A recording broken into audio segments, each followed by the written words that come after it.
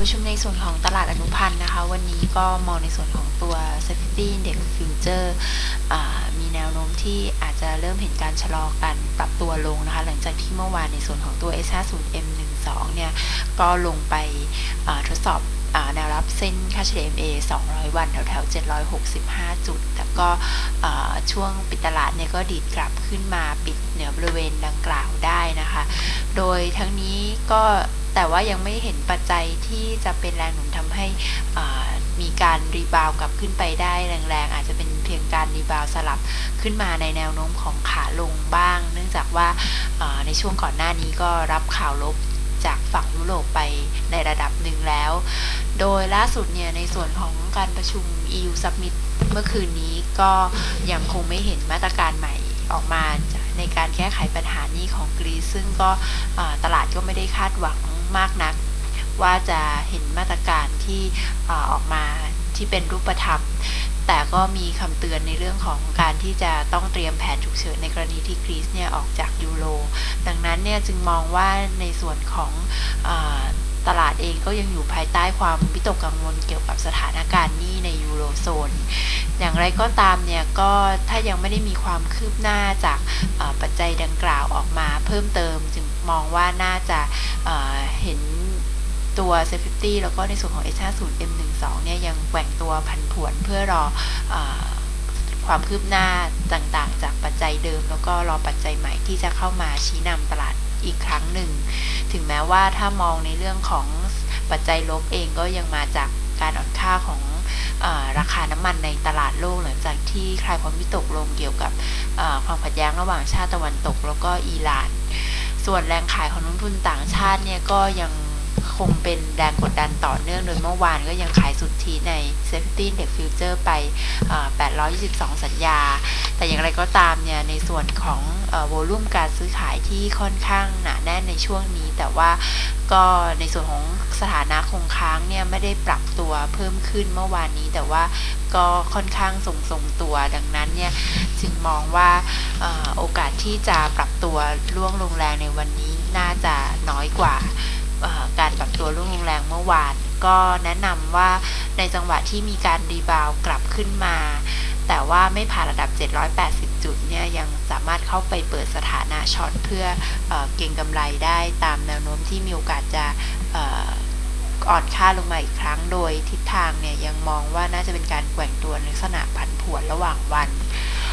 สำหรับในส่วนของ Safety Index Option ถ้ามองในส่วนของ Put Call Volume ปรับตัวลดลงมาเล็กน้อยอยู่ที่ระดับ 2.09 เท่า ส่วน Put Call Open Interest ยังค่อนข้างทรงตัวอยู่ที่ระดับ 1.28 เท่า แต่ Implied Volatility โดยรวมในฝั่งของ Call Option ยังอยู่ในระดับต่ำกว่า Put Option ต่อเนื่องเป็นวันที่ 11 ก็สะท้อนภาพรวมตลาดยังคงแกว่งตัวผันผวนในแนวโน้มหลักที่เป็นขาลง ถึงแม้ว่าวันนี้อาจจะมี rebound ขึ้นมาสลับ ได้บ้าง แต่ว่าภายใต้ความวิตกกังวลต่อปัญหานี้ในยุโรปที่ยังคงเป็นแรงกดดันต่ออการลงทุนในช่วงนี้ต่อเนื่องก็มีโอกาสที่ SET50 จะอ่อนค่าลงไปต่อได้ในวันพรุ่งนี้ก็แนะนำว่าอาจจะเข้าไปเปิดสถานะลองพุทในสัญญาเดือนมิถุนาที่ราคาใช้สิทธิ์770 เพื่อรอทำกำไรเมื่อดัชนีปรับตัวลดลงต่อ ส่วน Single Stock Future ถ้ามองในส่วนของตัว Advance M12 เมื่อวานปิดปรับตัวขึ้นเหนือเส้นค่าเฉลี่ย MA ทุกเส้นพร้อมกับ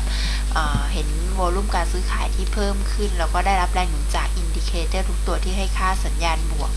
ก็มองว่ามีโอกาสที่จะฟื้นตัวขึ้นต่อในระยะสั้นแนะนำเข้าเปิด long โดย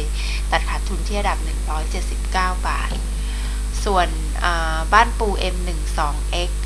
เมื่อวานปิดปรับตัวลงต่ำกว่าเส้นค่าเฉลี่ยทุกเส้นพร้อมกับในส่วนของ indicator ทุกตัวยังคงให้ค่าสัญญาณลบ ก็มองว่ายังสามารถถือสถานะ short ต่อได้โดยตัดขาดทุนที่ระดับ 490 บาทสำหรับอีกตัวที่แนะนำเข้ามาคือ PTTEP M12 หลังจากที่แนะนำให้เปิดสถานะ short ไป เมื่อวานนี้ก็ปรับตัวลง ค่อนข้างจะแรง แล้วก็ปิดแท่งเทียนเป็นสีดำยาว โดยเป็นการทำ low ใหม่ในรอบ 6 เดือน พร้อมกับในส่วนของ indicator ทุกตัวให้ค่าสัญญาณลบ ทั้งนี้ก็มองอว่าน่าจะเป็นการรับข่าวในเรื่องของ การที่บริษัทเนี่ยแจ้งว่าจะทำคำเสนอซื้อหุ้นทั้งหมดของบริษัทโคเปเนจีในราคาหุ้นละ 240 เพนต่อหุ้น ซึ่งสูงกว่าคำเสนอซื้อรอบก่อน แล้วก็สูงกว่าคำเสนอซื้อของกลุ่มเชล ก็ทำให้ดูเหมือนว่าตลาดเนี่ยจะกังวลในเรื่องของการเพิ่มทุนของบริษัทในอนาคต ก็มองว่าน่าจะเป็นแรงกดดันในระยะสั้นต่อเนื่อง แนะนำให้ถือสถานะช็อตต่อได้โดยตัดขาดทุนที่ระดับ 157 บาท สำหรับในส่วนของ commodity future ถ้าอมองในส่วนของตัวราคาทองคำแล้วก็โลหะเงิน หลังจากที่เมื่ออคืนนี้เนี่ยร่วงลงไปจากความวิตกในเรื่องของสถานการณ์หนี้ในยูโรโซนที่ยังคงไม่คลี่คลายลง แล้วก็ยังไม่เห็นแนวทางที่เป็นรูปธรรมจากการประชุม EU Summit ในการที่จะมาแก้ไขปัญหานี้ของกรีซแล้วก็ประเทศอื่น ๆ แต่ว่าในช่วงเช้านี้ก็มีแรงซื้อกลับขึ้นมาทำให้สปอตโกเนี่ยก็มีการดีดกลับจากที่ลงไปทดสอบแถวๆ ระดับ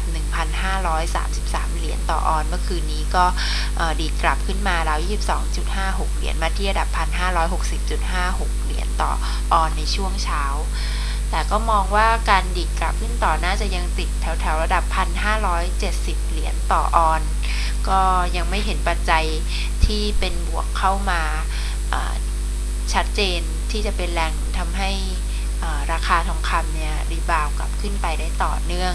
ส่วน spot silver เองก็ดีดกลับขึ้นมาเช่นเดียวกันจากเมื่อคืนนี้โดยเช้านี้อยู่ที่ระดับ 27.89 เหรียญต่อออนซ์ ขณะที่ในส่วนของราคาน้ำมันดิบเบรนท์เองเนี่ย ก็นอกจากจะได้รับแรงกดดันจากความวิตกในเรื่องของภาพรวมเศรษฐกิจโลกรวมถึงในส่วนของการเติบโตของเศรษฐกิจจีนเองที่อาจจะชะลอตัวลงหลังจากที่ธนาคารโลกเนี่ยมีการปรับตัวปรับลดตัวเลขคาดการการขยายตัวของเศรษฐกิจจีนลงสู่ระดับ 8.2%สำหรับปีนี้ โดยทั้งนี้ยังเรียกร้องให้จีนเนี่ยผ่อนคลายนโยบายทางการคลังลงเพื่อกระตุ้นการบริโภค แทนที่จะเน้นการลงทุนภาครัฐ เพื่อกระตุ้นกิจกรรมทางเศรษฐกิจ ก็ยังคงได้รับแรงกดดันจากการที่นักลงทุนก็วิตกกังวลน้อยลงเกี่ยวกับสถานการณ์ในอิหร่าน หลังจากที่ อิหร่านแล้วก็ชาติมหาอำนาจ 6 ชาติเนี่ยมีการแลกเปลี่ยนข้อเสนอกันในการเจรจาที่กรุงแบกแดดประเทศอิรัก เพื่ออลดความขัดแย้งในเรื่องของโครงการพัฒนานิวเคลียร์ของอิหร่าน ขณะที่มองในส่วนของดัชนีดอลลาร์สหรัฐเองเนี่ยก็ยังคงปรับตัวขึ้นเนื่องจากนักทุนก็ยังคงเข้าไปถือดอลลาร์สหรัฐในฐานะสกุลเงินที่มีความปลอดภัยในช่วงที่ยังไม่มีความ ชัดเจนในแนวทางที่เป็นบวกเกี่ยวกับการแก้ไขปัญหานี้ในแถบยูโรโซน ก็มองว่ายังคงเป็นแรงกดดันทำให้ทิศทางของตัว Gold Future Silver Future แล้วก็ Oil Future เนี่ยยังอยู่ในแนวโน้มของขาลง ถึงแม้ว่าวันนี้ Gold Future แล้วก็ Silver Future น่าจะแกว่งตัวอยู่ลักษณะไซด์เวย์เพื่อรอปัจจัยใหม่เข้ามาชี้นำแล้วก็รอความคืบหน้าจากสถานการณ์ ในยูโรโซนก็แนะนำว่าสำหรับผู้ที่มีสถานะช็อต GFM12 แล้วก็ GF10M12 ก็ให้ทยอยรับรู้กำไรเมื่อปรับตัวลงไปทดสอบแถวๆระดับ 23,300 บาทอีกรอบทั้งนี้ก็ให้ตัดขาดทุนที่ระดับ 23,600 บาท ส่วน Silver Future เองมองว่ายังสามารถถือสถานะช็อต SVM12 ต่อได้เพื่อรอทำกำไรใกล้ระดับ 850 บาททั้งนี้ให้ตัดขาดทุนเหนือระดับ 912 บาท ส่วน Brent Crude Oil Future มองว่าสถานะช็อต BRM12 ก็ยังให้ถือสถานะต่อเพื่อรอรับรู้กำไรบางส่วนในช่วงที่ปรับตัวลงเข้าใกล้ 3,340 บาท ทั้งนี้ก็ให้ตัดขาดทุนเหนือระดับ 3,400 บาทปิการประชุมในส่วนของตลาดอนุพันธ์ค่ะ